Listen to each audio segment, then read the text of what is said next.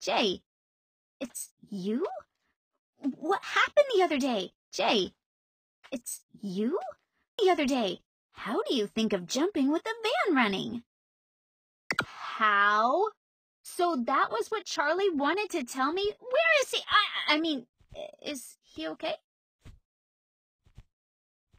Yes, in the end, I managed to jump at one of the stops. Are the others okay? Mm-hmm, mm-hmm. So nice! We have to do something.